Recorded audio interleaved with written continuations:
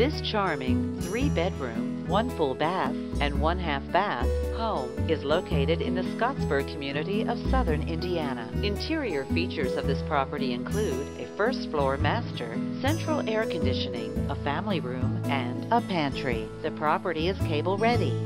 On the outside, this property features an attached garage, a professionally landscaped lawn, and a cul-de-sac location. The approximate square footage is 1,152 square feet.